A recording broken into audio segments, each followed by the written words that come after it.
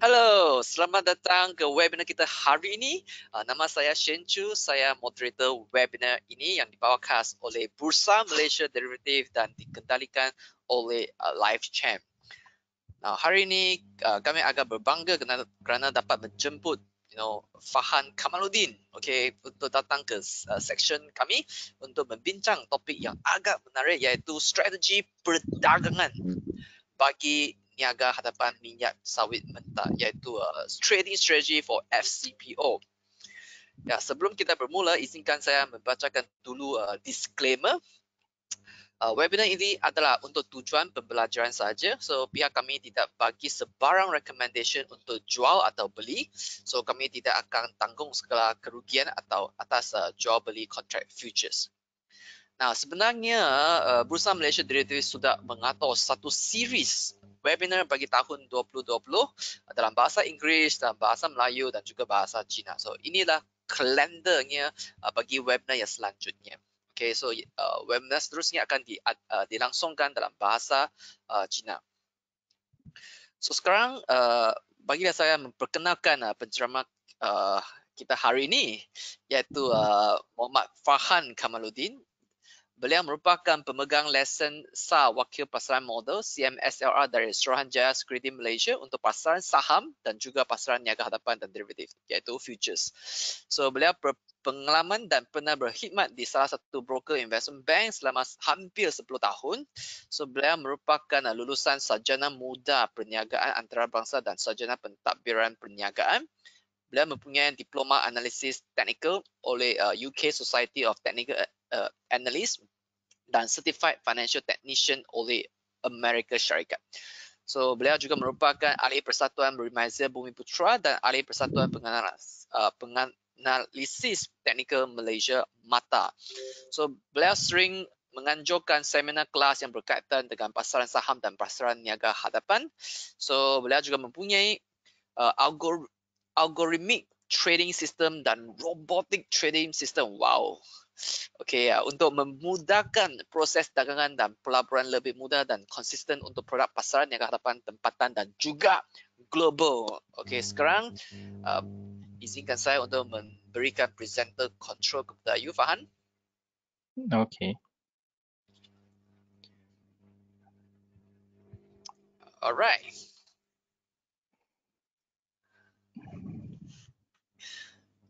Okey, okay, we are. Tengoklah, boleh tengok slide. Okey.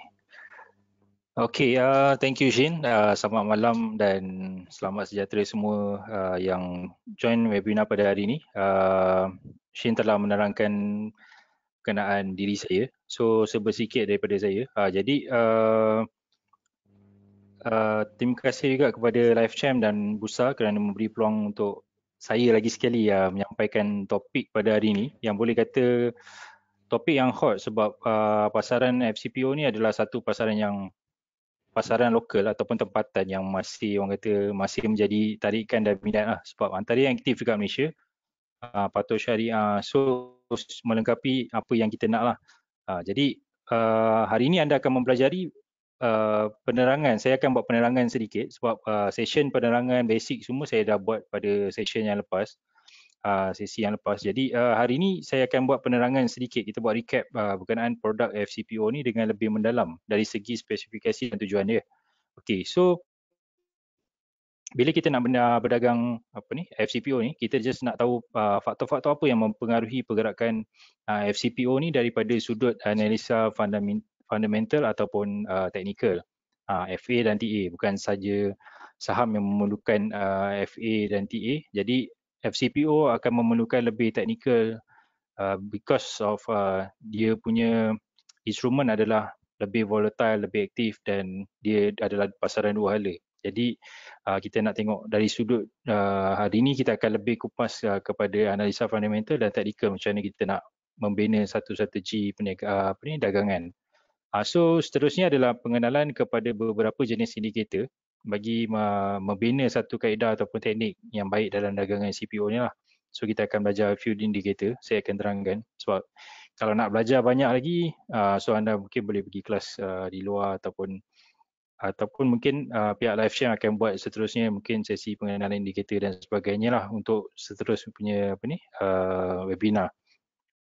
Jadi uh, keempat adalah membina strategi yang sesuai untuk jangka pendek dan jangka panjang.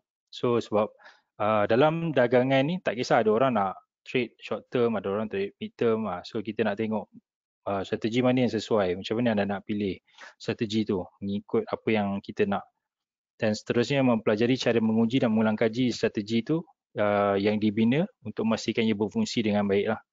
Uh, okay, seterusnya Uh, yang ini saya buat uh, sepintas lalu untuk uh, apa ni introduction ataupun pengenalan kepada pasaran niaga hadapan FCPO ni. So mana yang sebab saya ada invite few clients yang baru join, baru buka account dan sebagainya. Jadi anda mungkin terlepas sesi awal. Jadi saya terangkan sedikit berkenaan uh, asas untuk anda uh, apa ni untuk anda trade ataupun berdagang uh, pasaran FCPO ni lah. Okey, seterusnya adalah uh, derivative commodity. Jadi FCPO ni, sekarang kita nak trade FCPO ni, FCPO ni di bawah uh, derivative commodity. Jadi produk derivative commodity ni pula terdiri daripada dua kategori iaitu pertanian, kita panggil agriculture dan uh, komoditi logam berharga kita panggil precious metal lah. So maknanya di bawah uh, derivative commodity ni dia ada dua. Jadi satu pertanian, satu precious metal. Untuk dekat skop uh, pasaran tempatan ataupun Malaysia ni, kita hanya yang famous lah. Dia ada banyak. Dia ada niaga hadapan gold, minyak sawit mentah seperti yang dalam senarai tu lah kan. So anda boleh tengok.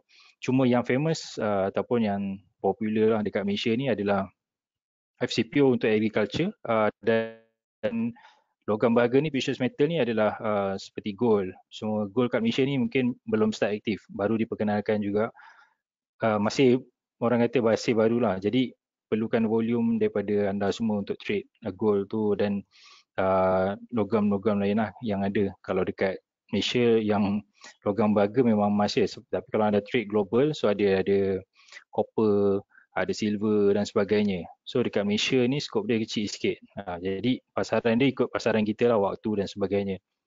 Uh, uh, okay so apa tu futures crude palm oil ni? Uh, jadi macam sebelum ni uh, kita trade uh, crude palm oil ataupun minyak sawit mentah ni underlying asset dia ataupun apa yang kita dagangkan adalah crude palm oil. So ramai yang tanya nanti di end of session mungkin orang akan tanya apa perbezaan CFD dengan futures dan sebagainya. Jadi uh, senang cerita futures ni dia kita trade memang physical product. Maksudnya kita ada barang yang kita trade. Kita berniaga ni kita ada barang yang kita trade lah. So macam kita trade FCPO kita akan berniaga uh, minyak sawit mentah. Kita buat jual beli minyak sawit mentah. So bila anda buat satu posisi ataupun position beli minyak sawit mentah secara teorinya anda akan membeli secara real lah. Cuma penghantaran tu akan dibuat daripada masa uh, pada masa akan datang pada masa hadapan lah sebab tu kita panggil futures.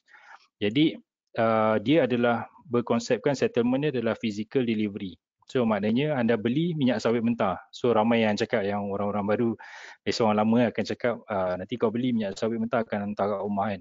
So konsep dia lebih kurang sama. Sebab bila anda beli, anda beli minyak sawit tu dalam kuantiti 25 metric ton untuk satu lot ataupun satu contract size je. Jadi uh, bila anda bila anda beli kontrak tu pada harga rendah, tiba-tiba harga naik. So anda boleh jual balik kontrak tu uh, walaupun dia belum deliver lagi uh, ataupun belum hantar lagi produk tu tapi anda boleh jual bila harga dia naik. So pada saya konsep dia simple. Uh, so kita trade minyak sawit mentah secara delivery. So pengantaran dia akan ada secara fizikal. Uh, jadi kita tak kita as trader kalau uh, kita nak trading saja so kita tak perlulah sampai delivery uh, tu berlaku. Jadi kita just nak beli uh, ambil kesempatan orang kata daripada kenaikan harga dia ataupun penurunan harga. Uh, jadi pergerakan harga pula contohnya sekarang uh, 2800 uh, harga dia satu metric ton. Uh, so pergerakan dia akan bergerak dalam satu orang kata satu tick atau satu bit lah uh, iaitu bernilai seringgit. So seringgit ni disebabkan dia 25 tan so dia bersama dengan 20 ringgit lah. Pergerakan harga satu ringgit uh, satu ringgit tu dia bersama 25 ringgit. Uh, jadi nanti yang tu saya akan terangkan depan ni.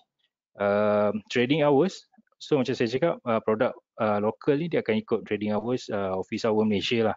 Uh, cuma dia lambat sikit daripada saham. Uh, dia bermula pada pukul 10.30 pagi sampai 12.30 tengah hari. Dan dia berehat sebentar uh, sambung balik pukul 2.30 sampai pukul 6. Ya pukul 6 dia tutup lah.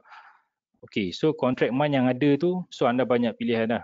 So anda boleh pilih uh, nak trade bulan Disember anda boleh pilih bulan Januari 2021 bulan seterusnya lah maknanya kontrak masa depan akan datang Okey, uh, seterusnya adalah margin. Okey, margin ni adalah modal lah. So kalau kita dalam webinar yang lepas kita terangkan margin ni macam mana nak kira dan sebagainya, apa fungsi margin tu uh, nanti anda boleh tengok video yang lepas. So margin ni modal yang anda perlukan untuk trade satu kontrak adalah 4500. Jadi anda ada 4500 anda boleh trade uh, FCPO. Uh, senang cerita macam tu lah kan. So kita just uh, cut. Okay, yang ni butiran uh, lebih detail lah.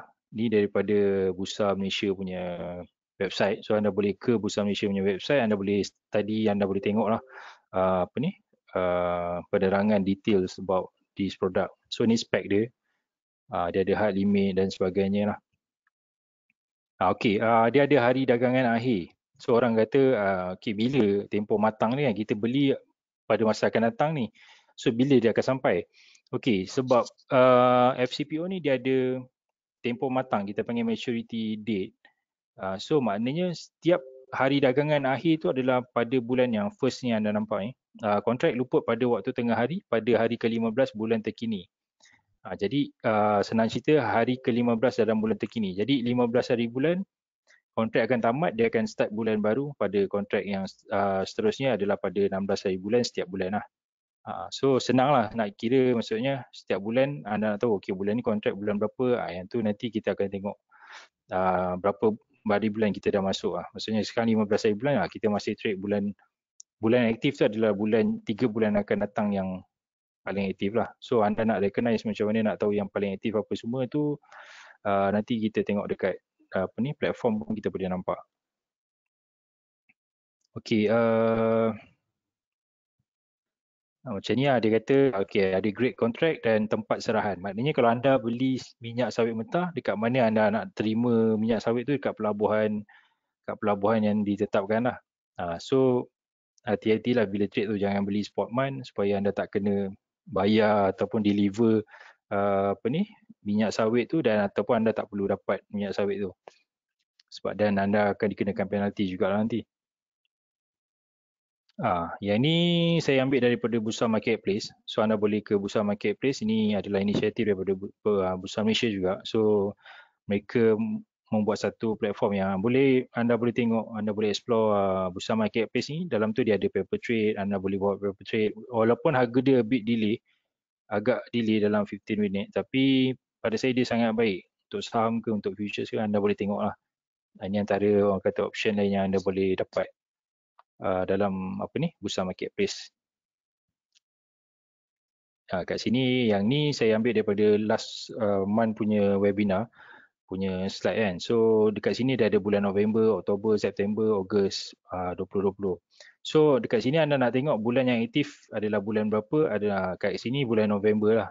So anda jangan salah faham eh, yang ni last month punya contract. So kita dah masuk 15 uh, September. So kita dah masuk 16 September, kita dah beralih ke bulan uh, uh, Disember yang paling aktif.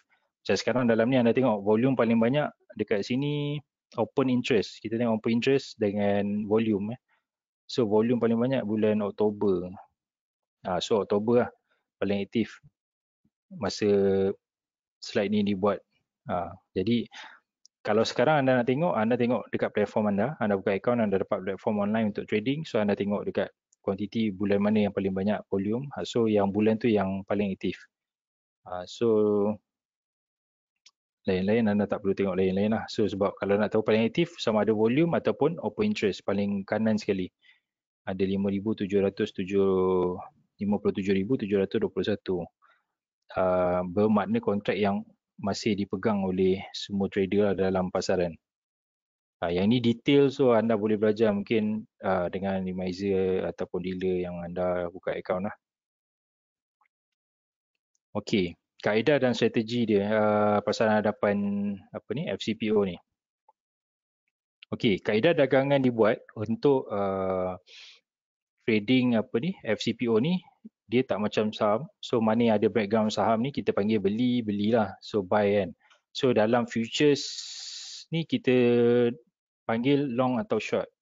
Uh, so senang cerita long ni buy, short ni sell. Uh, dia panggil terms dia macam tu lah. Kita panggil terms lah. So kaedah dagangan dia. Jadi long ni perjanjian untuk membeli suatu kontrak pada masa hadapan dan uh, pada masa harga yang ditetapkan tu lah bila kita nak buat uh, satu position tu. Jadi kalau short ni kita sell lah. Harga tu maknanya kita jual. Uh, suatu kontrak tu berapa harga dia kita jual. Jadi uh, long untuk beli, short untuk sell. Okay, dia ada satu term lagi yang biasanya uh, berjadi pertanyaan juga lah yang baru kan. So dia ada intraday overnight. Sebab ada certain broker dia menetapkan uh, kadar yang berlainan untuk margin untuk intraday dan overnight. Ada tetapkan kadar cost yang berbeza untuk uh, intraday dan overnight. So intraday ni adalah intraday maksudnya dagangan tu anda boleh buat pada hari yang sama. Maksudnya beli pukul 10.30, pukul 5 petang kita tutup position. So kita panggil intraday lah. Jadi ada certain broker menetapkan 4,500 tadi margin asal, dia boleh discount sikit. Maknanya anda boleh ada 3,000 ataupun lebih rendah, anda boleh trade intraday. Ha, jadi uh, cost dia pun dia orang akan uh, ada yang ditetapkan berbeza-beza. Jadi mungkin intraday anda trade murah sikit dia punya cost dia. Ha, so overnight tu lebih tinggi sikit. Jadi yang tu anda boleh tanya lebih lanjut dengan broker anda. Ha, jadi terms dia adalah intraday untuk dagangan dalam hari yang sama. Ha, tapi untuk uh, overnight ni adalah anda carry position tu kepada esoknya ataupun uh, seminggu ataupun sebulan. Uh, so depends on contract month ataupun uh, position dan strategi anda. Uh, so anda nampak uh, bulan 9 uptrend. So kita nak pegang position bulan 9 ni buy lah sampai ataupun long je lah sampai bulan berapa kan yang kita nampak trend dia dah habis.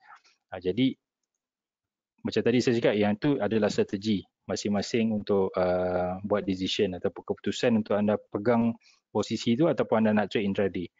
Uh, jadi anda kena familiar benda ni dan baru anda start trade lah. Okay, uh, kaedah macam mana anda nak buat trading ni. Uh, so macam ni part of strategi lah kan. So kita tengok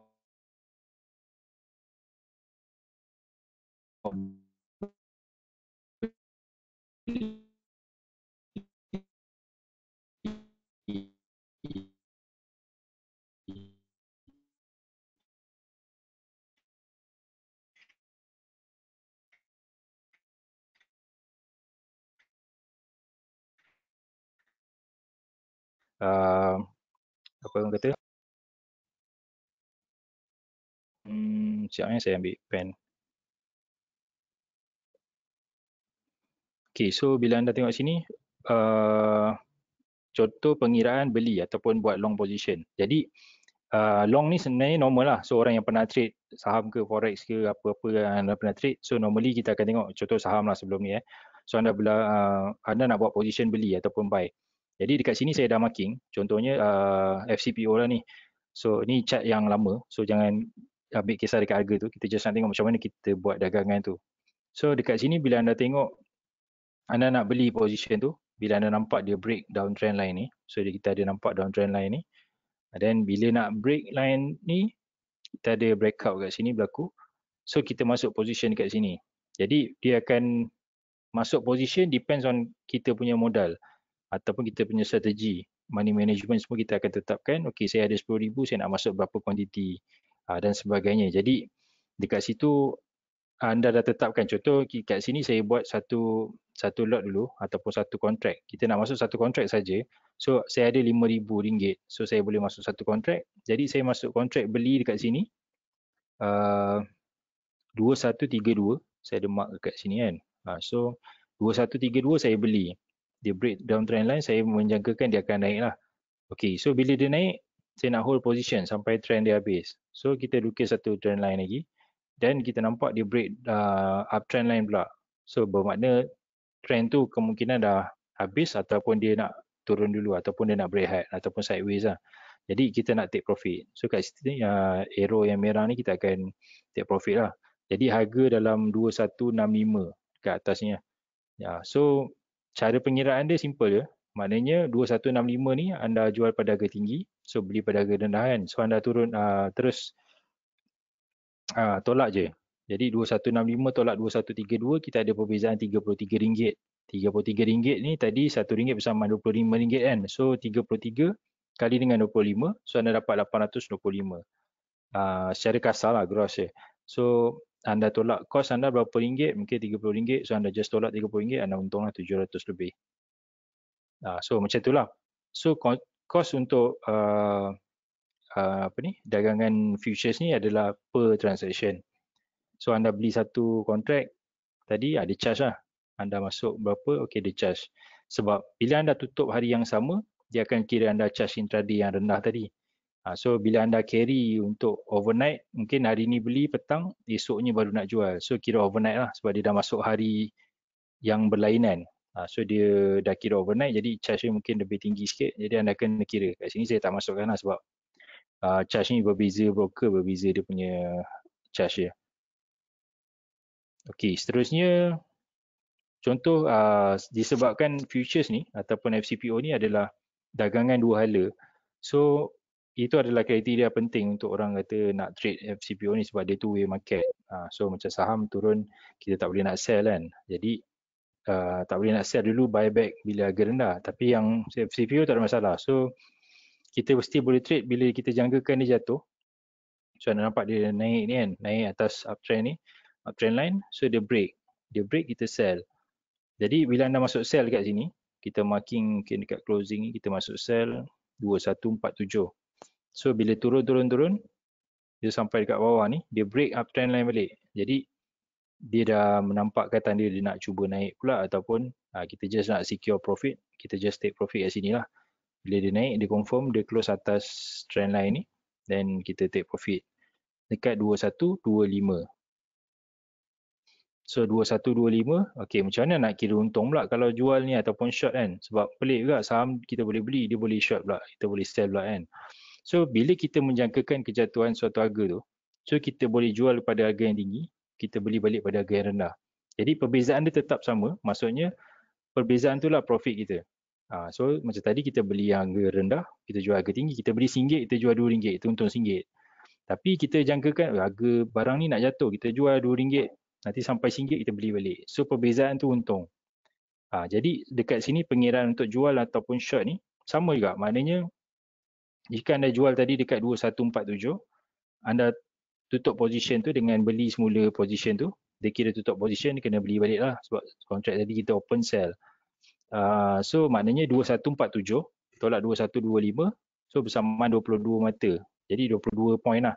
So 22 point ataupun tick ataupun bit mana yang anda ni familiar ataupun sebab dalam future ni kita panggil tick lah biasanya ataupun points. So 22 mata darab dengan 25 sama 550 Ha, jadi dekat sini kita nampak uh, perbezaan dia.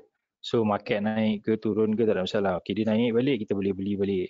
Ha, so depends on strategi kita macam mana kita nak trade. Ataupun signal yang kita boleh. Now buat okay, uh, boleh you buka uh, full screen lah. oh, you nampak ni eh kecil eh. Sorry sorry, I tak yeah. tak perasan. In a PowerPoint mode lah, full screen lah. Ah.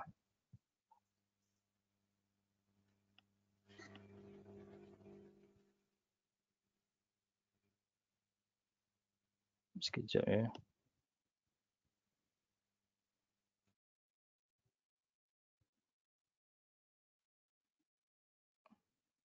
Okay.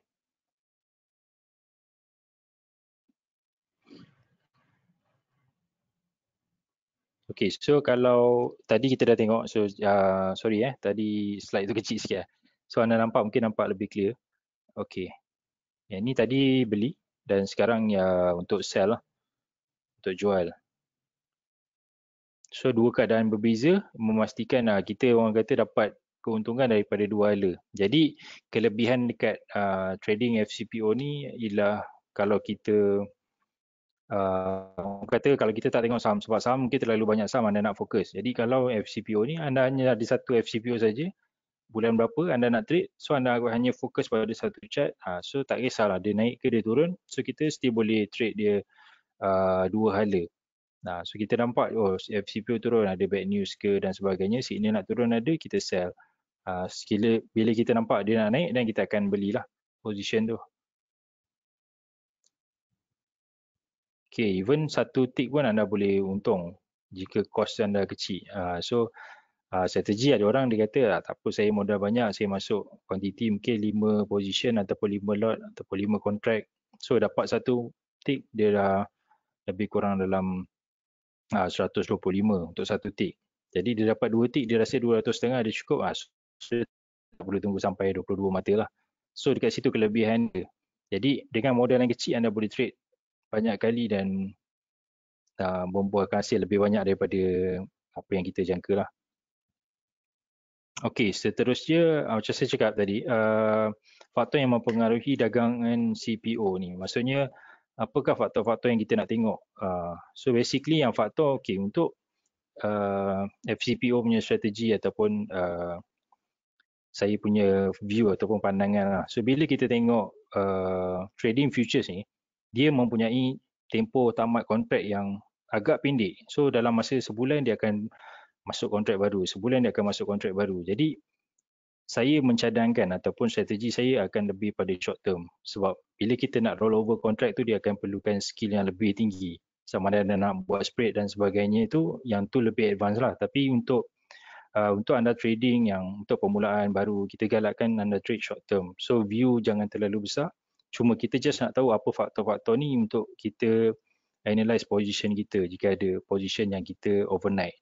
Sebab uh, bila anda trade short term so dia memerlukan uh, skill dekat lebih dekat pada analisis uh, secara teknikal ataupun kita based on indicator uh, technical indicators uh, so faktor-faktor ni akan melebihkan orang kata pemberat tu lebih di uh, apa ni analisa teknikal ataupun skill dekat teknikal lebih daripada fundamental because fundamental untuk uh, FCPO macam ni kan saya terangkan fundamental kan So fundamental untuk uh, FCPO ni sebenarnya tak banyak. Sebab apa yang menggerakkan FCPO ni adalah uh, dari segi orang kata apa? Uh, demand and supply. So maknanya satu demand and supply. Jadi permintaan tinggi, penawaran kurang, harga akan naik. So permintaan rendah, supply ataupun penawaran lebih, dia akan turun. So apa yang menyebabkan sesuatu demand ataupun permintaan tu naik ataupun turun akan menggerakkan harga itulah secara relatif dia. Ha, jadi anda tak payah pening sebab satu lagi kelebihan untuk produk yang based on commodity ataupun pertanian ni, uh, kelebihan dia adalah dari segi season. Ha, jadi setakat ni lah, uh, 10 years back kita punya data sebab season, okay contoh macam kita tengok dekat mana uh, apa ni kelapa sawit ni ditanam lah secara orang kata apa cara meluas ataupun uh, majority producer dekat uh, dunia ni sebenarnya Malaysia, Indonesia, Brazil uh, yang tu antara yang besar. Jadi yang mendominasi sebenarnya Malaysia dan Indonesia. So kita dengan Indonesia pun berkongsi uh, iklim ataupun uh, season yang lebih kurang sama. Uh, jadi so tak banyak beza. Uh, tak adalah macam Malaysia sekarang musim hujan, uh, Indonesia musim panas. Uh, so dia perbezaan yang agak ketara tapi sebab kita pun berjiran. Jadi uh, perbezaan season tu tak banyak. Jadi dan dia berulang setiap tahun. Uh, so maknanya kita akan tengok season dekat barang pengganti dia seperti soybean. Uh, soybean dan soybean oil. So uh, dekat sana dia akan kontra dengan kita. So bila dia tiba musim sejuk, kita pula tiba musim uh, hujan dan sebagainya. So dua-dua production akan drop. So production drop, permintaan sama je. So ataupun meningkat. Jadi yang ni akan meningkatkan harga uh, FCPO dan soybean oil selaku pengganti dia. Jadi bila harga soybean oil mahal, orang akan beralih pada CPO. So CPO akan naik juga. Jadi season ni anda perlu baca dari segi uh, macam season yang maksudnya yang penting-penting macam kita kat Malaysia ni kita ada dua faktor yang season yang utama cuaca yang utama adalah La Nina dengan El Nino. So kebiasaannya akan berlaku La Nina ni akhir-akhir tahun lah. Macam sekarang kalau tak silap uh, saya ada ambil keratan akhbar bagi tahu uh, kita dah masuk fasa yang kata La Nina akan kena dekat kita dalam bulan akhir-akhir tahun ni lah. Sebenarnya every year uh, benda yang sama juga sebenarnya. Uh, jadi kalau anda tengok dekat sini musim atau pusingan uh, bagi kutipan hasil sawit tu akan memberi kesan seperti musim panas ataupun musim hujan. Jadi pada hujung tahun dia akan hujung tahun atau awal tahun dia akan bagi uh, impact pada kenaikan atau penurunan harga saham. So secara fundamental dia lah. Jadi bila kita menjangkakan okey akhir tahun ni uh, uh, apa ni musim hujan. So buah tak ada ataupun berkurang. Jadi harga akan naik sebab permintaan tetap sama. Ha, jadi bila harga naik ni, ha, so kita standby nak masuk position apa. Ha, macam itulah. So kita study dari segi analisa fundamental. Kita nak tengok apa yang kita boleh nampak. Uh, seterusnya adalah permintaan minyak sawit seperti negara luar lah. Seperti India, India, China yang orang kata uh, pengimport besar lah untuk uh, kita punya minyak sawit sebab minyak sawit kita grade lebih baik daripada Indonesia. So so far dua negara ni agak banyak lah dia ambil daripada kita. Cuma isu baru-baru ni kalau anda baca news dan kita dengar dekat uh, media masa pun uh, baru-baru ni US uh, kalau tak silap dia nak ban FGV sebab pakai import workers. Uh, so benda-benda ni mungkin hit certain saham tu tapi mungkin secara tidak langsung ada sedikit tempias dekat uh, sektor ni lah. Jadi kita kena alert juga apa yang dia boleh bagi kesan dekat permintaan dengan penawaran. So dia akan memberi kesan pada harga juga.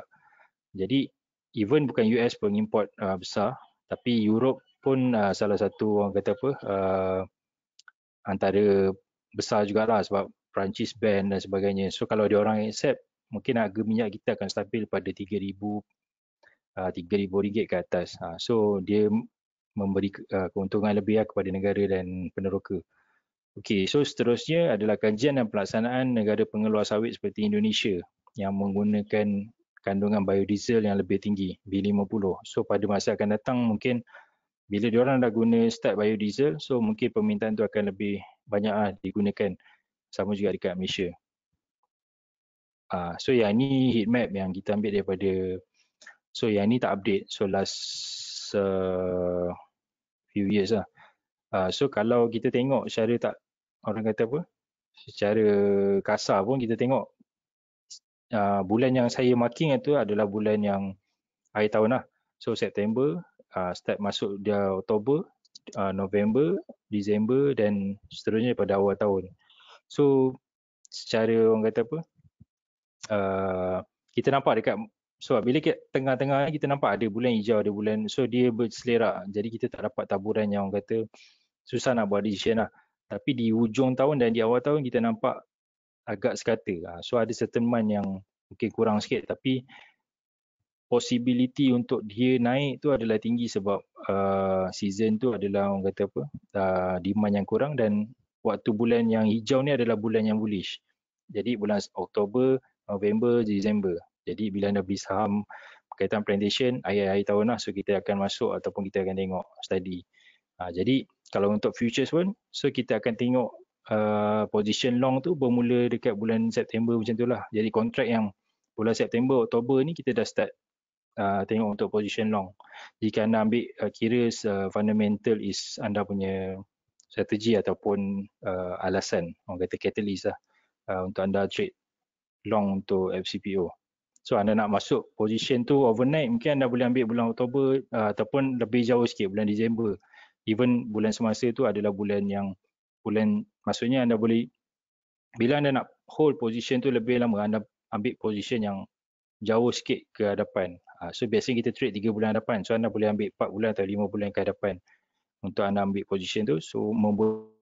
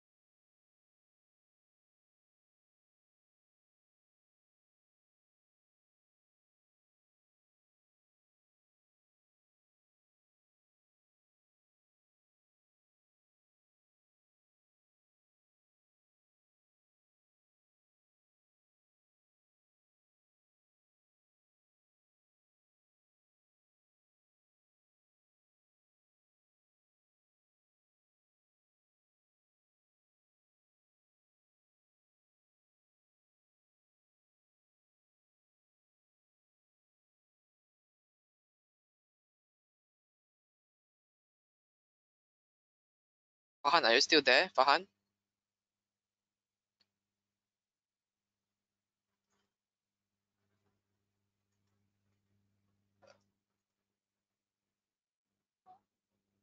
Fahan, are you still there? I cannot hear you. Uh.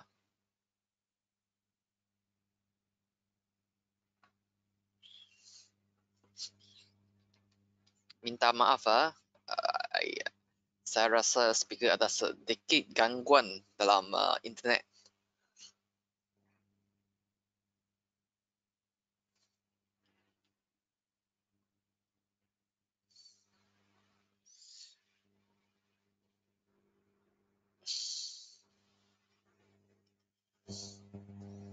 Minta maaf ah. Tunggu sekejap.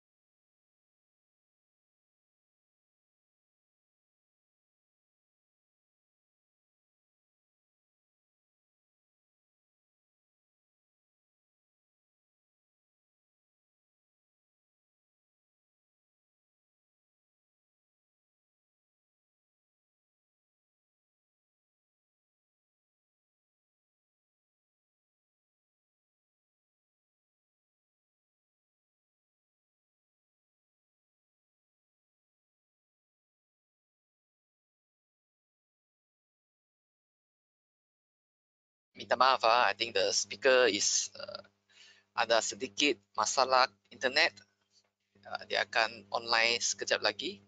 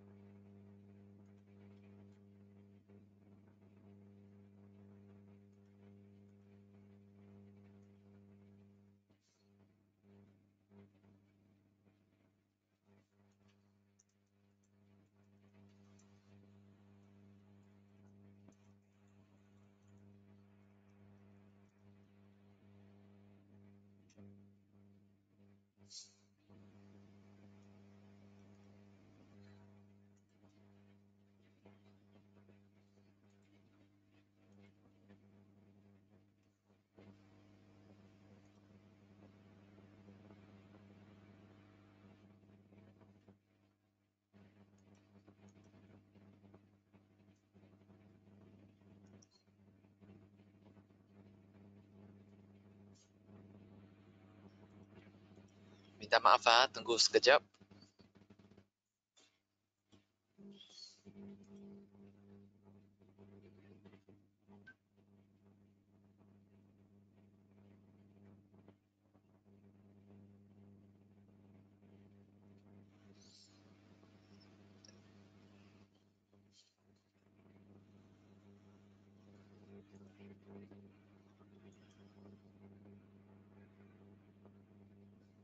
Okey, speaker dat, uh, sudah kembali.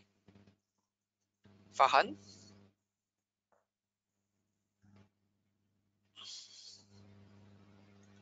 Hello, ah, can you hear my voice? Yes, yes, yeah, can you can hear your voice. Okay, let me make ah, you sorry. presenter sekali lagi ya. Tadi you ah. disconnect. ah, tu lah.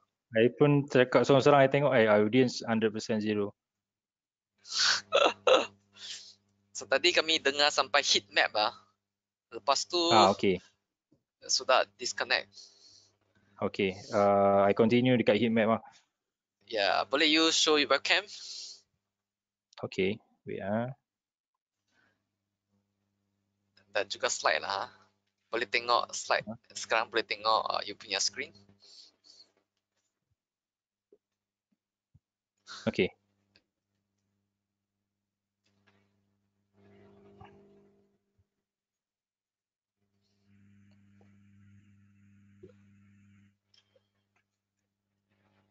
Boleh nampak? Ya, boleh nampak. Uh, teruskan. Okey. Uh,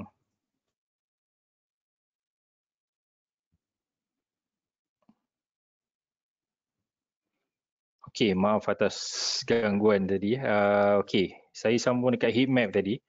Uh, dalam data yang saya bagi ni adalah data 10 tahun lepas lah.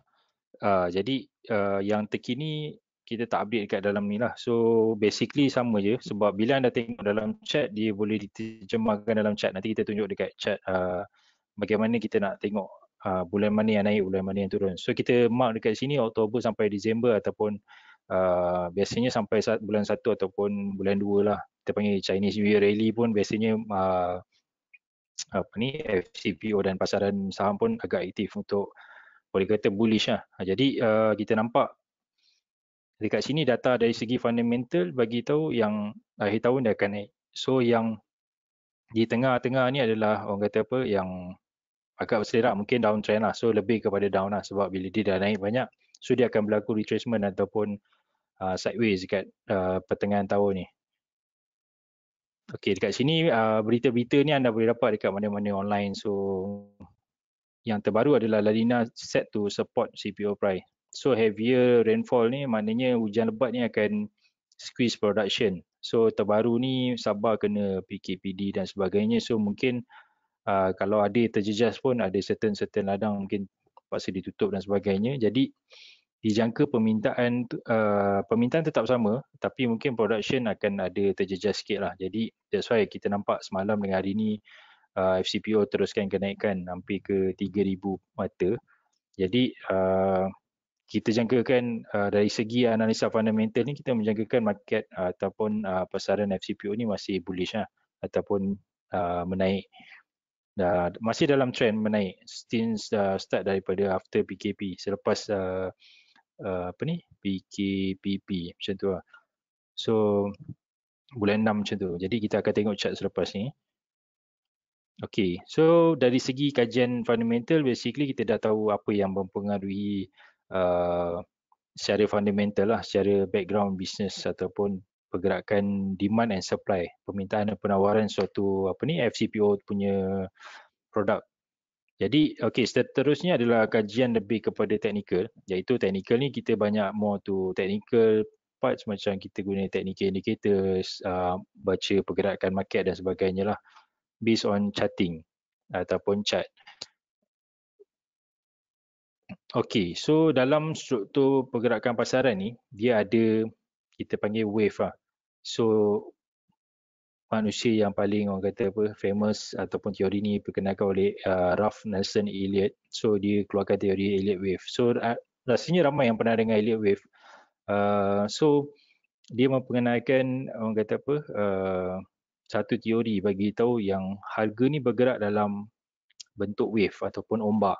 Ah, so macam kita pergi pantai kan, so kita nampak ombak tepi pantai tu dia bergerak dalam tempo ataupun irama yang lebih kurang sama dan dia berulang-ulang kali. Ha, mungkin ada ada kala mungkin ombak tu besar, ada kala ombak tu kecil. Jadi dia buat satu perkiraan dia dapat uh, structure LA wave ni. Ha, so dekat sini dia boleh predict ataupun menjangkakan uh, kemungkinan pergerakan tu pada masa hadapan dengan calculate berapa banyak pergerakan tu dan sebagainya. Jadi pergerakan gelombang ni ataupun kita panggil wave ni adalah terhasil daripada fractals. Uh, so anda boleh tengok dalam chat uh, ataupun chatting platform anda kita boleh ada indikator fractal. So fractal ni akan ukur dekat mana uh, bila anda tengok dalam contoh gambar raja biru ni. So dia ada A, B, C, D. Uh, so dekat plot-plot tu so kita panggil fractals. Jadi dekat mana puncak ataupun pullback kat bawah tu berlaku dekat fractal-fractals ni. Jadi pergerakan wave ni sebenarnya terhasil daripada uh, emosi manusia sendiri, ya, psikologi. Jadi orang rasa dia nak naik, bullish kita beli kan. Jadi harga tu akan membentuk kenaikan lah. Uh, so uh, bila anda tengok fractals ni, anda tengok elite wave, so dia agak dia agak structure, uh, mau kata apa, uh, macam susah sikit lah kita nak buat kira kita macam ni lah, kira satu mana, dua mana. So dia memang tak terlalu subjektif tapi dia perlukan skill yang lebih tinggi lah. Cuma apa yang anda perlu tahu adalah pergerakan ni berulang-ulang jadi anda boleh apply pada pada chart yang anda baca. So anda boleh tengok technical indicators yang boleh disesuaikan untuk tahu bacaan dia berapa banyak. At least anda tahu roughly oh dia ada lima wave yang utama. So kita boleh kira roughly berapa dan timing dia bila uh, bermula. Uh, so mungkin anda tak dapat wave satu punya kenaikan tapi anda boleh dapat wave dua, wave tiga dan sebagainya. Uh, so pola wave ni terdiri daripada lima gelombang besar. So kita panggil dia uh, contoh macam dalam chart ni, uh, dalam gambar raja ni uh, uptrend punya chart. So uh, major trend lah kita panggil. Major trend dia uptrend ataupun bullish. Jadi major trend ni dia membentuk impulse wave. Uh, kita panggil impulse wave. Uh, jadi dia ada lima gelombang wave uh, ataupun lima gelombang atau wave. Uh, jadi dia ada corrective wave. Uh, kita panggil correction lah bila dia berlaku pembetulan harga. Uh, so dia discount balik. Dia akan berlaku ABC. Kita plot uh, sebagai ABC lah. Uh, jadi teori ni biasanya boleh digunakan dalam saham, futures, forex, uh, bond dan sebagainya lah. So kita apply dalam produk finance uh, produk kewangan. Uh, so yang ada chart ni kita akan guna lah. Uh, jangan chart COVID lah kita guna tapi sebenarnya uh, apa-apa yang berkaitan chart lah, kewangan lah. So maknanya pasaran apa-apa pun anda boleh apply teknik ni. Tapi dia tak kata confirm. In technical, kita ada falsafah kita. Maksudnya uh, dalam technical kita tak kata setiap orang yang guna technical tu dia salah ataupun dia betul. So nobody is wrong or right. Uh, so dia akan ambil uh, masing-masing punya mana yang kita berat ataupun kita lebih. Uh, so dekat sini kita just tahu basic macam ni kita nak tahu apa bentuk market structure dan sebagainya. Okay, so kita nak tahu uh, firstly, first thing kita nak tahu trend tu ada tiga bentuk utama. So yang sekarang ni anda nampak adalah uptrend. Uh, jadi trend menaik ni ataupun uptrend adalah kita panggil bullish jugalah. Uh, so trend menaik adalah apabila harga membuat kenaikan berulang-ulang. Maksudnya bila dia buat dalam dalam berajatan dan nampak low, dia buat high. So kemudian dia buat higher low. Low dia lebih tinggi daripada low sebelumnya. So jap saya ambil pen. So kita tak perlu go details about uh, apa ni uh, technical sangat. So hari ni kalau nak belajar technical saya rasa satu hari pun kita tak boleh habis uh, semua technical lah. Jadi apa yang basic saya terangkan dekat sini adalah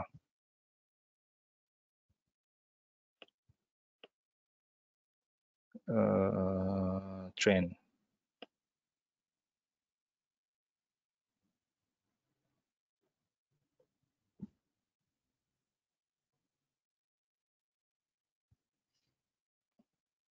Sekejap ya. Eh.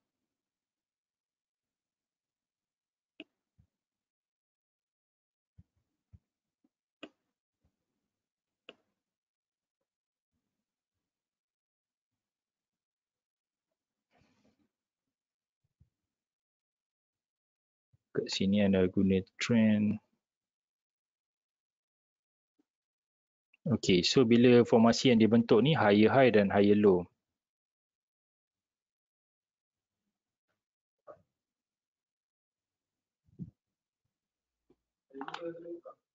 Eh. Okay, uh, sekejap. Saya tak dapat share pen tadi. Orang kami teng tengah tengok ha, itu itu multi slide lah dalam PowerPoint. Eh. Okay ah. Now. Yeah, now I can see your PowerPoint. Okay. Trend so menaik. sorry. Because ah trend menaik. Okay. Trend menaik ni kita panggil. Mau buat full screen ke? Uh, boleh juga sekejap. Eh. Because saya guna pen ni dia tak boleh ke full screen balik eh. Oh, boleh boleh. You you buat full screen lepas tu ah. right click and then guna pen. Tapi ini okay. pun boleh lah. Ini pun boleh okay, lah. Eh. Sekejap, ah, sekejap, sikit-sikit. Eh. Okay, so so bila kita buat trend menaik ni, uh, so dia akan buat low, dan dia ada buat high. Uh, so bila dia buat low lagi, low ni akan lebih tinggi lah paras low yang anda nampak dekat sini. Dia akan lebih tinggi daripada low yang sebelum ni. Uh, so bila anda dekat tengok dekat chart, anda akan marking kat mana low, kat mana high. So high dia akan lebih tinggi lah. So sama juga dengan downtrend, cuma downtrend ni dia terbalik bila uh, formasi yang dibentuk tu adalah ke, ke bawah pula. Sekejap.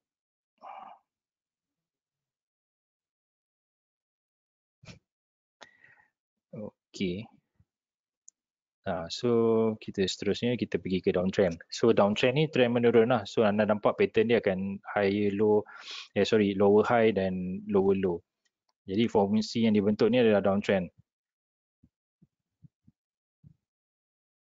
Okay. Seterusnya adalah sideways. Uh, so tiga trend utama ni adalah sideways, uptrend dan downtrend. So sideways ni tak kisah dia akan berlaku di atas trend ataupun di bawah trend. Uh, so maksudnya bila anda jumpa uptrend mungkin akan jumpa uh, downtrend pula selepas tu mungkin akan ada jumpa sideways. So dia akan berlaku dekat mana-mana lah.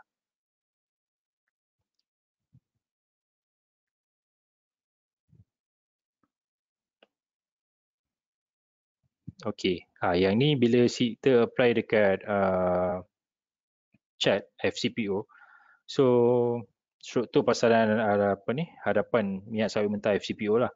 So basically kita ambil uh, yang ni daily chart. So anda akan nampak macam mana dia punya pergerakan yang saya marking tadi lah sideways. So kemudian dia uptrend dan kemudian dia downtrend. So dekat mana anda nak marking uh, So anda boleh marking lah tadi yang high dia kat mana. So dia buat high. Dia buat low. So dia buat high lagi. Dia buat low. So dia buat new high. New low.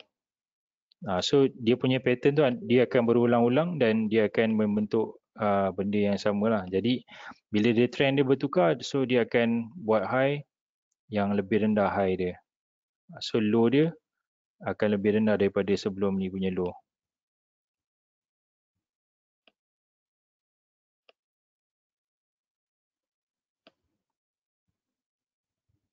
So dia akan ha, jadi pattern dia sama lah kalau macam ni kita nampak uh, di seri high dengan di seri low sama ya. So kita panggil uh, dia sideways lah. Jadi uh, kita nak tahu trend dia macam mana, macam ni kita apply di uh, pasaran video apa ni sorry uh, time frame uh, daily. Jadi bila daily ni dia akan ambil masa yang lama lah. Maknanya setiap satu candle yang merah hijau ni adalah candle lah. Jadi setiap candle ni dia akan sekejap ya. Ah, so setiap chart ni dia akan ada high, dia ada low, dia ada high balik, dia ada low balik kan. So yang ni kita panggil wave lah. Tadi dia membentuk fractal. So kalau kita pakai chart uh, dan pasang indicator fractal dia akan nampak uh, wave ni lah untuk dia turun ke ataupun dia naik. Uh, jadi anda nak tengok. Jadi kalau anda tengok dekat candle dia, kita panggil candle lah hijau hijau merah ni. So turun satu hari, hari kedua, hari ketiga hijau, hari keempat merah. Jadi bila anda guna time frame daily, ah, time frame ni juga adalah penentu strategi anda. Anda nak hold position, anda perlu tengok daily, uh, weekly, uh, mungkin one hour untuk anda entry. Jadi dekat sini anda akan tengok anda perlukan masa yang lama untuk trend tu berubah. Jadi kalau anda beli dekat sini pada awal bulan Januari, dia turun turun turun turun sampai bulan Mei. So hampir 4 bulan ke 5 bulan anda pegang position sell ni. Uh, sama juga dengan position buy. So macam tadi saya cakap setiap tahun uh, trend apa ni uh, untuk analisa fundamental bulan Oktober sampai bulan Disember dia akan uptrend. So dekat sini anda nampak sideways dekat bulan September untuk last year. Eh.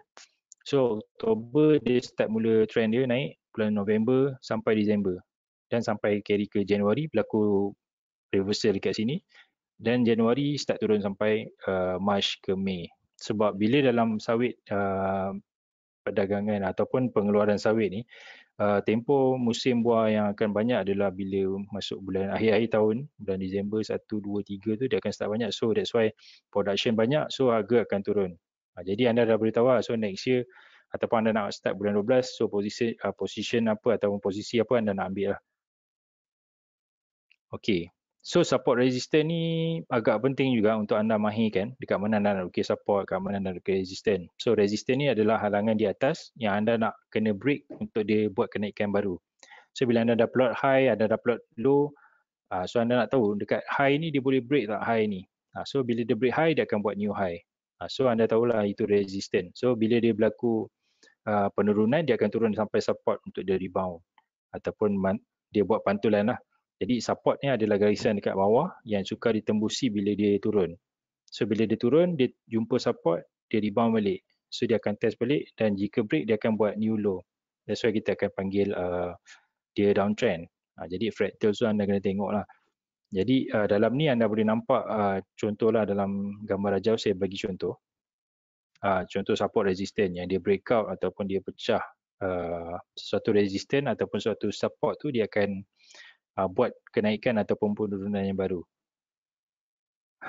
Okey, uh, seterusnya teknik 1 2 3 ataupun uh, previous webinar uh, diterangkan oleh David Low, uh, kita belajar teknik ABC. So, kita panggil juga teknik 1 2 3 depends on uh, ada trader dia pakai 1 2 3. So, depends on market dan sebagainya lah. Jadi konsep dia sebenarnya sama ya. Bila kita belajar fractals, kita belajar high low, support resistance, uh, trend tadi, market structure, kita blend semua kita akan dapat teknik ni. Sebab teknik ni basically dia teknik yang sangat asas cuma anda perlu tambahkan uh, apa ni strategi ataupun mungkin technical indicators untuk bagi dia lebih solid ataupun lebih sharp untuk anda masuk uh, pasaran menggunakan teknik 1 2 3 ni lah. Uh, tak semestinya mungkin dekat tengah-tengah market anda boleh masuk 1 2 3 ni dengan lebih selamat lah sebab dia dalam trend. Tapi bila berlaku dekat reversal pattern uh, kemungkinan harga tu uh, dif, uh, sorry fail pun ada possibility. Jadi uh, kita akan tengok dekat mana anda punya apa ni kemahiran yang anda lebih expert lah untuk baca benda ni.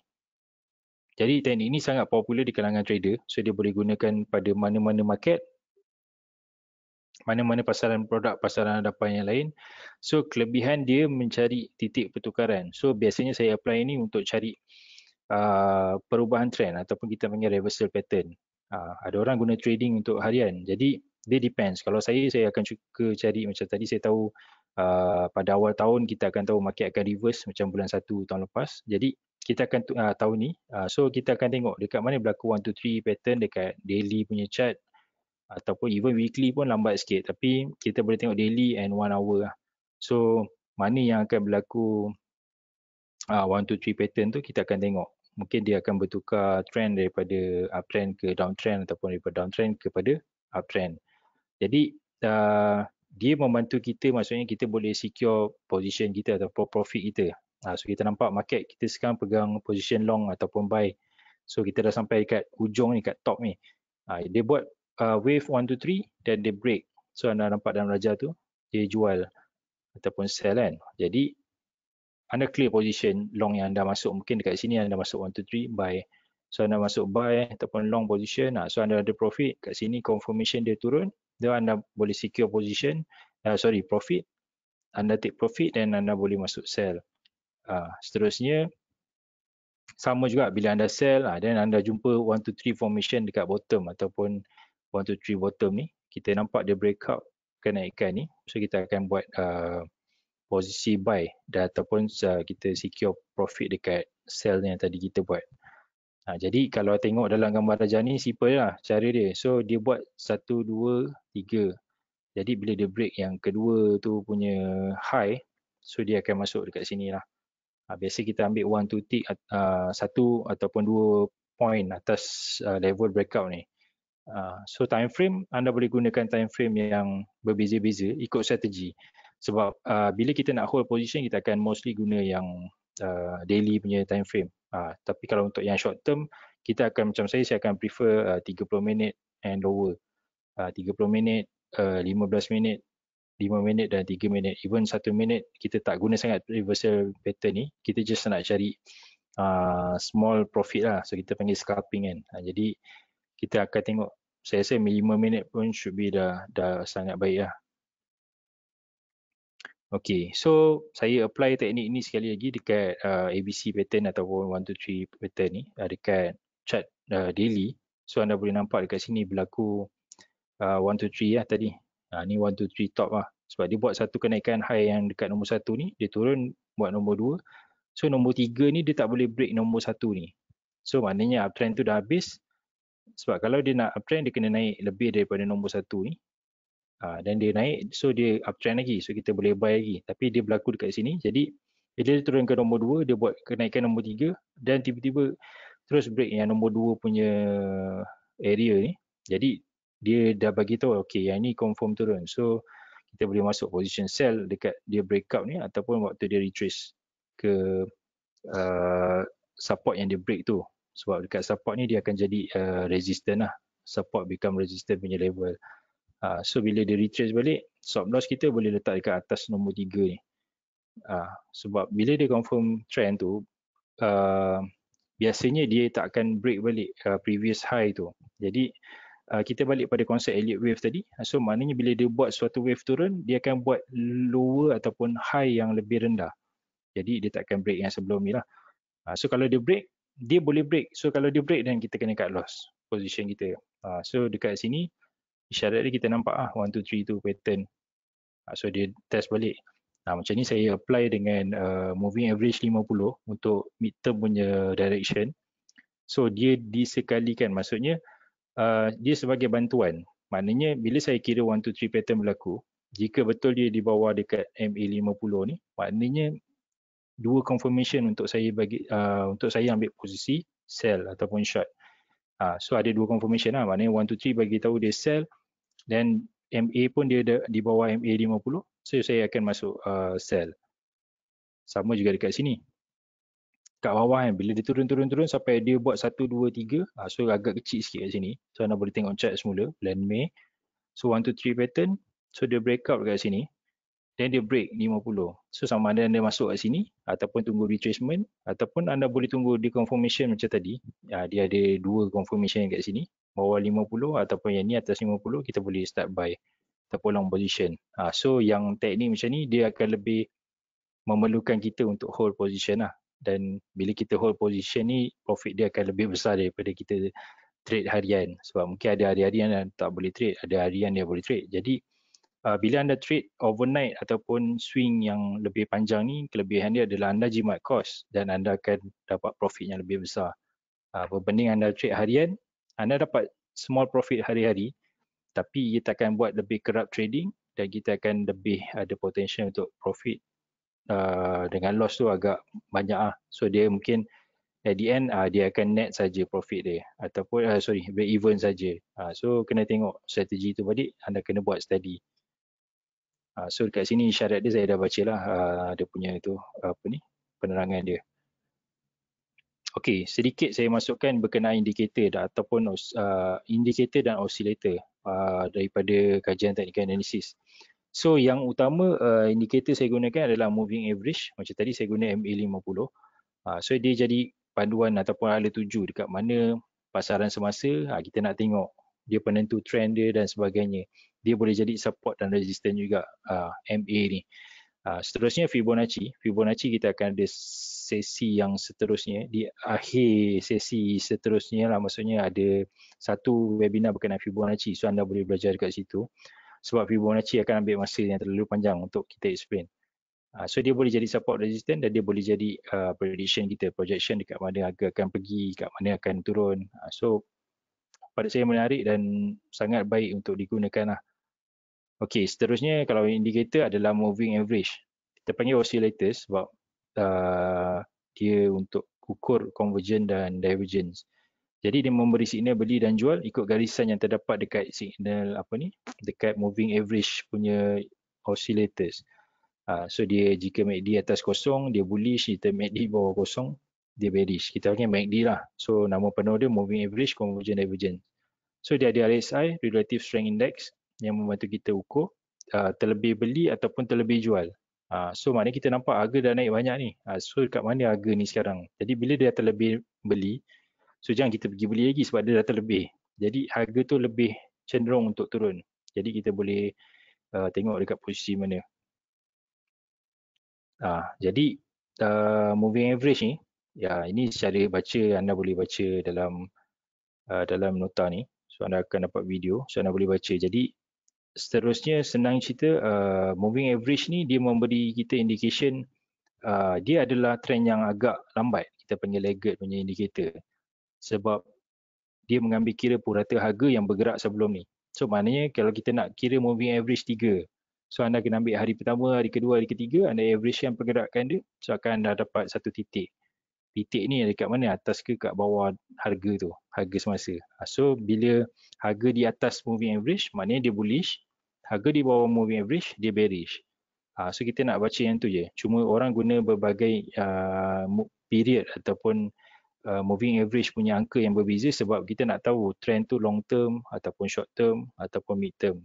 Jadi kita ada period ataupun hari ataupun angka yang berbeza macam dalam contoh ni 5 dengan 20. Ha, so kita nak tengok 5 hari punya pergerakan dia uptrend ke 5 hari punya pergerakan dia turun. Jadi lagi lama masa tu lagi kurang noise.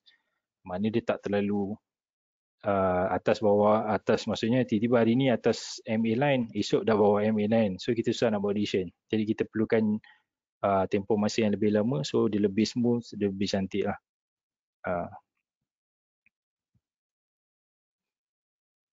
Okay, yang ini indicator saya apply juga dekat uh, daily punya view.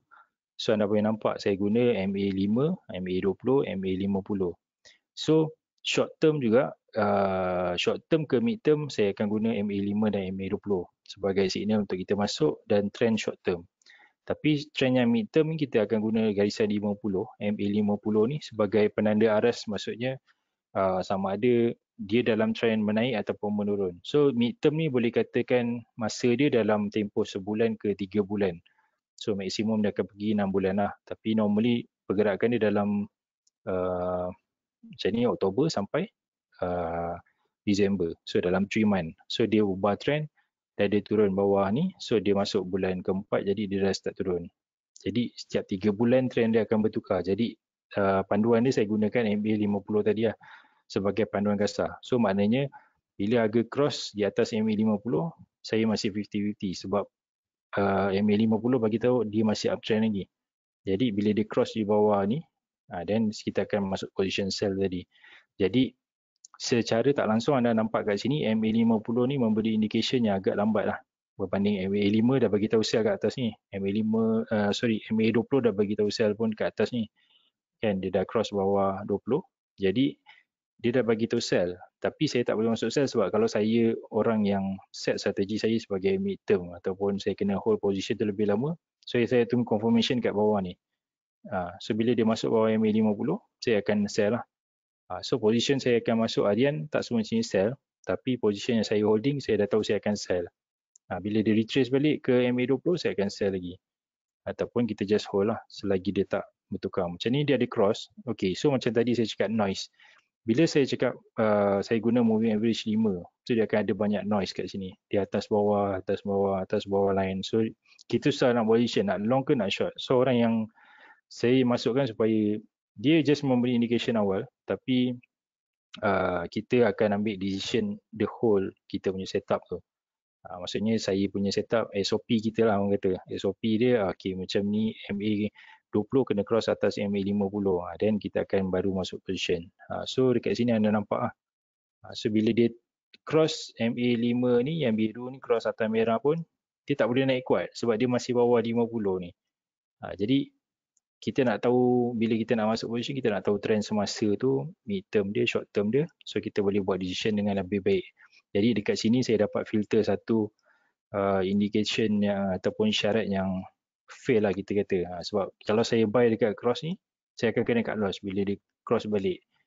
Ha, jadi kalau saya dia cross kat sini saya ada panduan lagi satu MA50 ni masih di bawah lain so saya tak perlu masuk buy kat sini.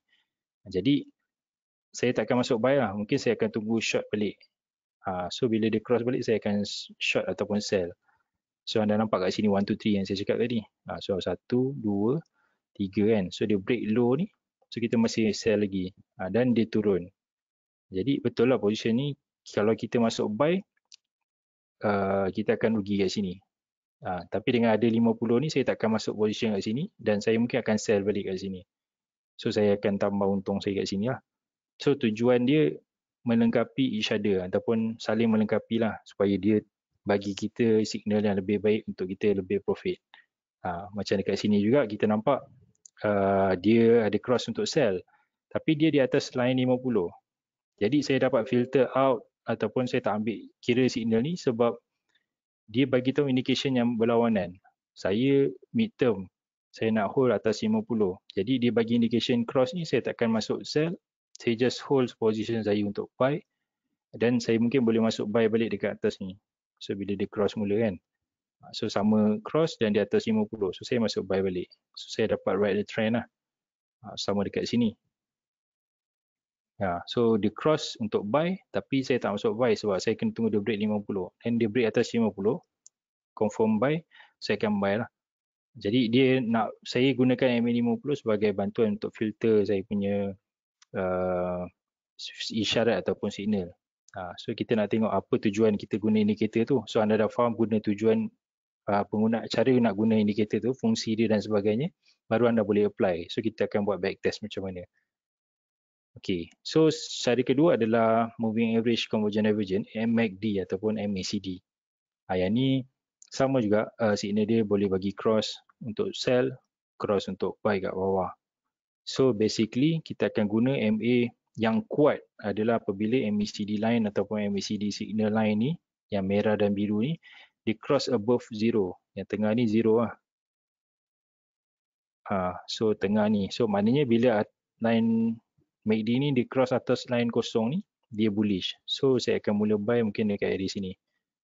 Uh, so saya line cross ni dia akan bagi indication awal untuk kita keluar position ataupun uh, trend dah semakin lemah. Uh, so anda turun, uh, so anda boleh take profit ataupun anda tunggu buy semula lah. Ataupun sell bila dia masuk bawah kosong balik. Uh, so bila guna dekat uh, chart FCPO juga, saya guna daily sebab dia lebih chat uh, untuk FCPO time frame ni pun main peranan juga. So bila anda guna time frame yang lebih besar, lebih kurang noise dia. So dia tak banyak whipsaw ataupun uh, terlalu banyak uh, signal yang tak boleh pakai lah orang kata. Uh, jadi kita pakai daily ni dia lebih smooth, dia lebih cantik. So anda nampak uh, bila dia cross buy atas kosong, so anda buy kat position ni. Jadi dia akan naik. Sama juga dengan sell ni, ni sell tapi di dalam position yang bullish sebab dia atas kosong. So dia mungkin anda boleh take profit sebab dia tak turun banyak dan dia sambung naik. Uh, so position tu anda nak tengok sell dekat atas ni bila dia cross. Uh, tapi anda tak perlu masuk sell, anda just take profit. Kalau saya, saya akan buat uh, take profit dekat kawasan ni. Uh, macam ni dia naik, kita buy kat sini atas kosong dan dia cross. So saya akan take profit dari sini lah. Waktu tiga arrow ni bagi tahu dia cross. So yang ni kita panggil divergence. Uh, so yang ini kita nak kesan dalam uh, dalam tujuan kita guna MACD ni sebab ni lah sebab dia guna dia dia boleh kesan divergence so bila dia harga dia macam ni dan harga ni macam ni so kita panggil bullish uh, sorry bearish divergence. Uh, so bila dia breakout ni kita akan entry sell.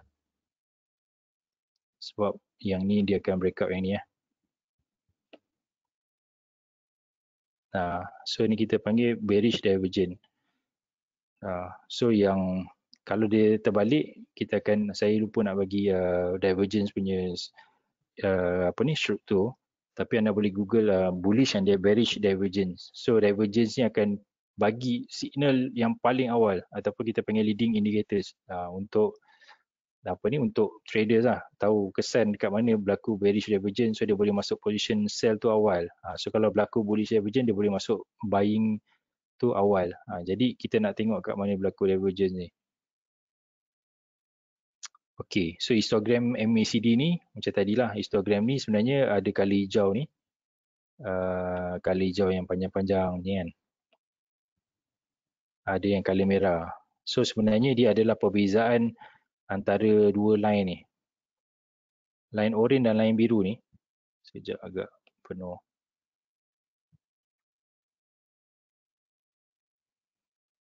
Okay, so perbezaan ni dia akan orang kata apa? Uh, akan menentukan dekat mana dia punya ni lah. Sorry, uh, Instagram dia.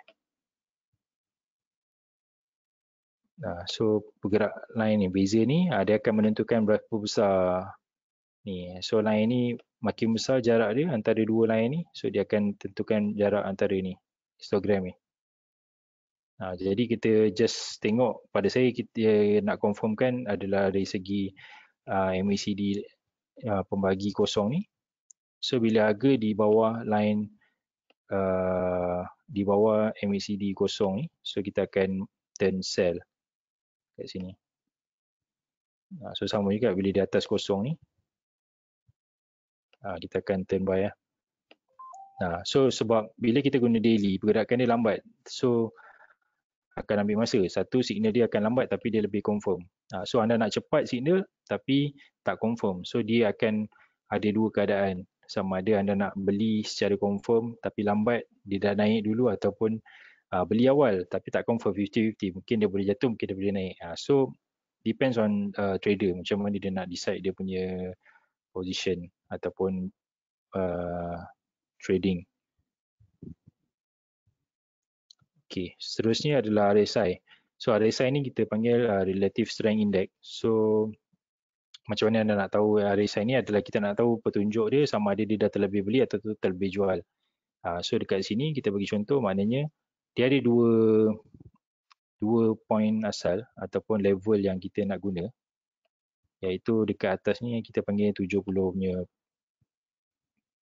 uh, so dekat sini saya dah bagi 50% uh, so saya apply dekat chart FCPO. Uh, jadi anda tengok dekat mana level terlebih jual kat arrow yang hijau, terlebih beli dekat level yang merah. So maknanya dia bagi tahu yang saham ni kalau eh sorry saham pula uh, FCPO ni kalau dia dah sampai atas 70 dia dalam kawasan yang terlebih beli. So maknanya dekat level yang arrow merah ni semua dekat kawasan yang terlebih belilah. Jadi dia nak naik lagi boleh cuma dia akan ada ada apa ni? Ada kekangan sikit lah sebab dia dah sampai orang kata maksimum untuk dia naik. Uh, so anda kena tengok dekat mana point-point ni lah yang saya marking yang arrow ni dan arrow hijau. So hijau pula terlebih terlebih jual. So bila dia turun uh, turun kan sampai maksimum dekat bawah ni area 30 eh uh, 30 dan 70 so maknanya level tu anda akan tengok position yang yang betul lah so maknanya anda nampak arrow hijau ni dia dah terlebih jual So anda akan cari price dia nak rebound. So anda boleh tengok nampak dia rebound kat sini lah. Ataupun dia buat pantulan. Sama juga dengan kat atas ni. Bila dia sell, uh, dia akan cuba untuk turun. Uh, so dekat sini pun RSI pun juga boleh membentuk uh, divergence. So kita boleh cari bullish atau bearish divergence. Jadi anda nak tengok apa ni terlebih beli dan terlebih jual. So bila lepas 70 ni maknanya janganlah pergi beli kat atas ni, long ni. Ha, dekat merah ni kan. So jangan pergi beli dulu sebab uh, dia dah kawasan yang terlebih jual. So kalau dia turun, dia akan turun banyak. So anda akan salah position dan anda perlu cut loss agak besar bila anda salah position. Ha, so dekat bawah ni, so dapat beli kat bawah kan. Jadi anda perlukan gabungan indikator. Tak semestinya anda guna RSI saja. So anda perlukan uh, confirmation indicator yang lain lah. Satu, dua, tiga untuk entry, uh, confirmation dari segi uh, moving average tadi, MACD. So pada saya dia combination yang agak baik untuk anda guna secara permulaan. So anda boleh buat back test. Kita boleh tengok uh, sama ada dia reliable ataupun dia membantu tak kita nak filter signal dan uh, bagi kita trading uh, entry yang baik ataupun exit. Uh, tak semestinya entry je. So maknanya kalau kita beli dekat uh, point yang betul, kita long contoh dekat bawah ni. So sama ada kita exit kat sini betul ke tak? So kalau betul dan kita profit dan kita akan marking. Kita buat journal trading dan kita mark dalam kita punya apa ni uh, trade journal tu untuk kita track kita punya apa ni position. So seterus uh, webinar yang seterusnya nanti saya akan kendalikan yang berkenaan uh, pengurusan uh, kewangan ataupun money management and traders punya mindset. So kat situ saya akan cuba buat trading setup dan kita akan buat back test kat situ. Uh, so macam mana anda nak susun portfolio dan ataupun uh, trading anda supaya anda dapat improve dari segi efficiency dia. Uh, so macam sekarang kita belajar basic dulu. So nanti kita akan cuba set satu setup. Kita akan tengok uh, setup tu uh, macam mana dia dapat beri kita punya effect pada portfolio kita. Nak set risk reward ratio, nak set kita punya entry dekat mana dekat timing dia dan sebagainya lah. Ha, seterusnya tips lah dalam uh, trading futures. Tak kisah anda trade apa pun, uh, trade saham ke, trade futures ke, so anda ada perlu wajib ada stop loss dalam trading. Uh, sebab stop loss ni wajib. Ada orang kata, okay masuk positionnya terus letak stop loss, jangan letak TP. Sebab TP ni sebenarnya kalau kita nampak profit anytime kita boleh take. Tapi loss even one point pun kita akan susah nak cut. Sebab stop loss ni anda kena belajar banyak untuk stop loss dan anda baru pergi uh, the next step advance Uh, so anda tak boleh stop loss, uh, then susah juga. So uh, duit habis dan anda akan stop trading dan sebagainya lah. So anda akan gagal. Jadi wajib ada plan untuk stop loss. Macam mana nak stop loss, kita tengok pakai indicator ataupun setup yang kita guna tadi. Uh, perlu ada plan dalam dagangan ataupun trading. Uh, selain itu anda boleh uh, trade ataupun kita buat trading futures ni ataupun trading apa-apa pun kita buat seperti kita berniaga lah. So anda control modal bila kita berniaga kan. So dapat profit kita secure uh, kurang uh, ataupun kita loss kita kena jagalah dekat mana loss kita. Jadi respect the market, hormati pasaran jangan ada dendam kan. Esok okay kena fight balik ni. Esok semalam aku rugi banyak, ini aku kena fight balik. Uh, so jangan ada emotion macam tu sebab everything in trading is about emotion. So lagi banyak kita ada psikologi dekat market, lagi kuat kita punya sense untuk loss lah orang kata. Ha, jadi ketahui risiko kerugian dan keuntungan tu akan datang. Macam tadi lah, kita set risk reward tu, make sure risk tu kecil dan profit kita besar supaya bila profit kita akan profit cover balik loss tu dengan mudah. So perlukan sedia, uh, sorry, perlu sediakan modal yang mencukupi jangan letak ngam-ngam sangat lah. So macam ada orang nak trade satu lot FCPO letak 4,500 setengah. So bila dia masuk position salah kan. So kat loss. So dia dah kurang 4,500 setengah dia kena top up. So once sekali dia top up sampai bila dia akan belajar untuk top up. So kita galakkan letak lebih sikit supaya kita follow trading plan kita dengan relax. Sebab bila kita masuk first trade dia dah loss, so kita ada uh, modal ataupun margin untuk masuk next position yang mungkin profit akan cover loss tadi balik. So kalau kita letak ngam-ngam modal kita ataupun cukup-cukup je. Jadi bila terkena mungkin satu dua kali kita dah tak cukup margin dan baru nak top up uh, margin, baru nak masuk position lepas tu dah tertinggal mungkin setup yang profit. Uh, so kita galakkan letak lebih sikit modal supaya anda anda boleh get ready dengan drawdown ataupun berapa risk yang anda nak ambil. Uh, so seterusnya dan last sekali adalah take a break lah. So anda profit ke anda loss, please take a break uh, kena refresh balik kan check balik apa apa ni uh, trading anda. So supaya emosi tu kekal tenang dan disiplin lah. Sebab untuk disiplin tu sangat susah. Uh, so saya dah lalui orang lain dah lalui. So bila anda nak trade apa ni uh, anda perlukan break. Uh, sebab kalau macam saya ada guna robot kan. So automatic trader uh, sorry automated trader trading. So kita tak rehat apa. Sebab robot pun tak ada rasa penat. So kita just let go so just run. Sebanyak mungkin dia run dia just run. Uh, so tak ada masalah. Tapi untuk manusia dia perlukan rehat untuk dia come back dengan uh, momentum ataupun psikologi yang lebih relax lah okay I think that's all. Uh, terima kasih kepada uh, semua. Uh, so saya serah balik pada Shane lah hmm. Okey, terima kasih uh, Encik Fahan. Okey, sekarang okay. uh, tiba masa untuk uh, sesi soal jawab. So uh, kalau ada soalan mau tanya penceramah kita hari ini, boleh uh, tulis dalam uh, chat box kita. Okey. So soalan pertama, uh, untuk intraday kan, apakah time frame yang uh, anda cadangkan?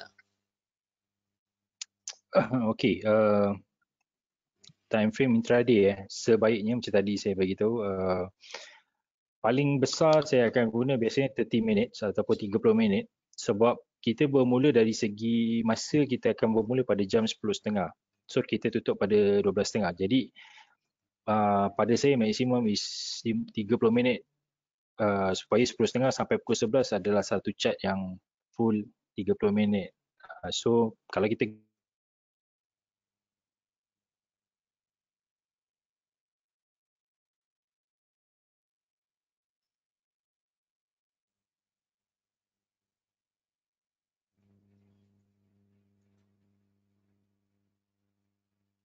Fahan, I cannot hear you. Uh.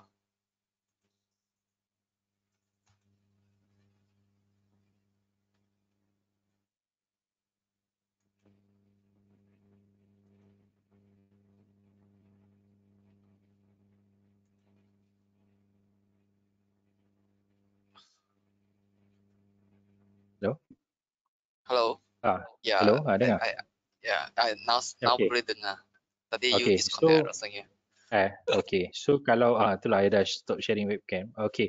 kalau I punya uh, apa ni guide lah. So I akan guna 30 minit as maximum ataupun I baca direction. So mostly I akan guna 5 minit and 3 minutes. Uh, normally broker tak ada bagi provide you charge 3 minutes. So I think 5 minute is better lah. So kalau 1 minute sebab for me kalau nak pilih uh, time frame mana yang suitable so kena tengok dengan you all punya masa. Uh, sometimes ada orang yang nak trade part time. So mungkin masa dia ada 1 to 3 hours here free.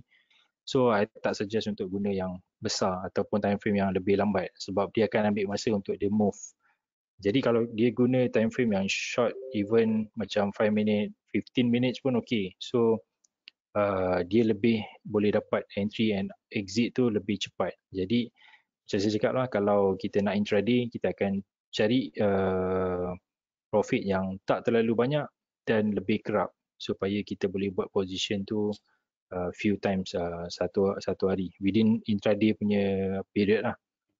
Uh, so saya galakkan 5 minit, study 5 minit dengan 15 minit. Sebab 15 minit ni dia lebih kurang sikit lah noise dia. Tapi dia lambat sikit uh, untuk confirmation. So kita nak masuk position. Tapi kalau orang nak target sehari satu dua kali trade dan dia boleh pakai 5 minit. Uh, sorry 5 minit ke 15 minit.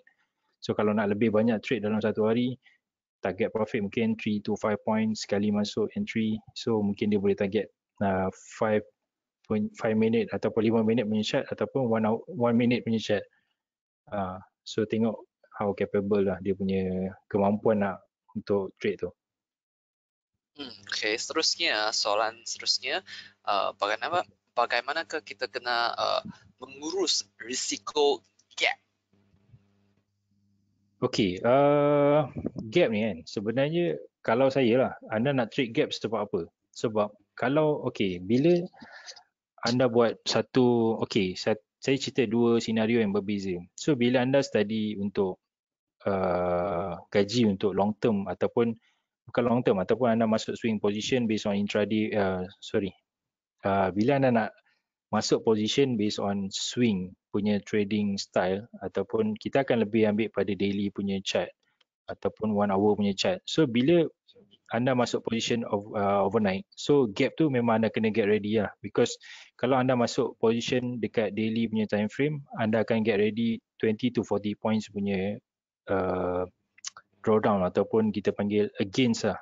Maknanya dia boleh lawan kita 30 ke 40 point punya uh, apa ni uh, berlawanan arah dengan syarat position yang anda masuk dekat the right timing lah. So kalau anda ada jumpa gap dekat direction yang betul, dia lebih baik.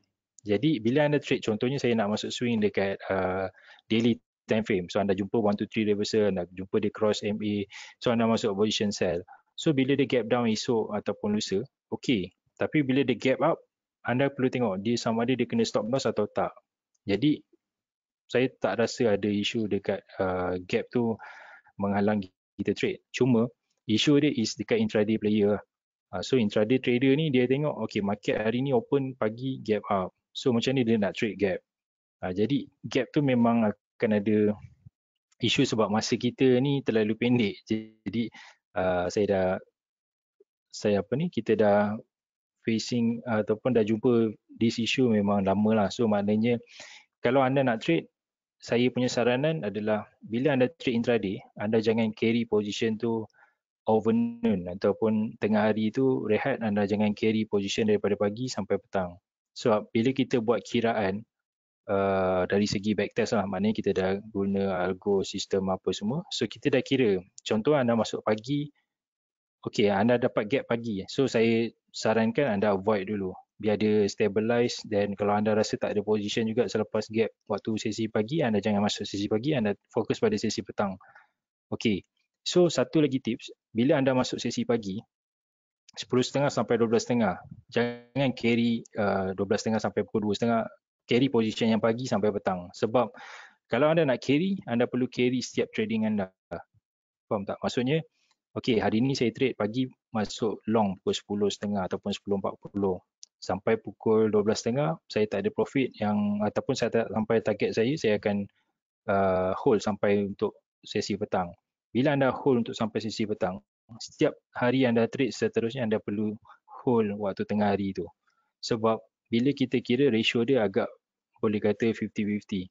So kalau anda tukar hari ni anda hold overnoon, esok anda tak hold overnoon, even tak kena TP atau kena TP anda anda bertukar-tukar so kita dah kira probability anda akan kena loss tu agak tinggi. Ah, so maknanya kalau anda carry overnoon hari ni esok anda kena carry overnoon setiap hari lah trading tu. Kalau anda tak carry overnoon hari ni so anda kena jangan sekali lah sebab kadang-kadang berlaku gap waktu uh, sesi tengah hari tu pun dia akan bantu dia akan kacau kita punya modal lah. Uh, kalau gap tu sikit okey tapi kalau gap dia banyak dan dia akan kacau kita punya trading plan dan money management. Hmm, okay, boleh. Uh, jadi kita buat satu soalan lagi iaitu uh, uh, kalau intraday kan boleh buat dua transaction yang berlainan pada satu masa ke? Okay. Uh, actually yang this okay ramai yang tanya juga. Uh, kita boleh buat transaction yang berlainan dalam satu masa untuk FCPO tetapi dengan syarat adalah uh, berlainan bulan. So anda tak boleh buat satu posisi, uh, sorry, dua position yang berlainan dalam satu kontrak yang sama. Contoh saya trade sekarang bulan Disember. Saya masuk long position atau buy. So saya tak boleh buat satu lagi kontrak, uh, saya tak boleh buat satu lagi position sell. Sebab berlainan position tu akan buatkan position kita tu tertutup lah. Ha, jika kita masuk buy, kita nak buat satu position lain sell. Dengan niat kita nak ada satu buy, satu sell. Tapi tak boleh. Untuk FCPO dia benarkan kita buat uh, dua position yang berlainan adalah dengan cara anda masuk berlainan bulan. Sebagai contoh anda masuk Disember, anda masuk long position ataupun buy. So anda boleh masuk sell tapi anda masuk bulan Januari. Jangan masuk bulan yang samalah. So sebenarnya teknik ni kita boleh panggil lock ataupun uh, spread. Uh, so nanti anda cari uh, webinar yang berkaitan spread market ataupun spread trading. So anda boleh tengok macam mana dia akan menjelaskan uh, isu spread ni. Uh, so anda boleh buat position tu, tak ada masalah. Tapi uh, sebab pergerakan uh, FCPO antara bulan ni sebenarnya tak lari jauh. Mungkin 5 point maksimum dalam 10 ke 15 point lah. Tapi takkan terlalu jauh. So anda boleh masuk tapi directionnya sama. So maknanya kalau bulan Disember dia uptrend, bulan Januari biasa dia pun akan uptrend. Cuma pergerakan dia ada slow sikit lah bulan seterusnya ni. Jadi uh, untuk buat dua position dalam masa yang sama, yang sorry dalam masa yang sama tapi uh, dua position yang berlainan lah sedang cerita. Maknanya satu buy, satu sell ni anda boleh buat di kontrak yang berlainan. Satu bulan Januari ataupun satu bulan Disember satu long January, satu long sorry satu sell dekat uh, February ya macam itulah. So anda boleh buat dengan cara itulah. So anda tak boleh masuk satu dua position yang berlainan dalam satu kontrak yang sama. Hmm. Okay. Okay. That's all. Terima kasih Fahan. Okay. Alright. So uh, seterusnya kami ada webinar yang akan dilangsungkan uh, uh, minggu depan iaitu uh, webinar dalam bahasa Cina uh, uh, iaitu uh, exploring futures as a full-time career. Okay, yang akan dilangsungkan dalam bahasa Cina. So the uh, the registration link uh, sudah bagi dalam uh, chat group. So seterusnya kami ada satu survey.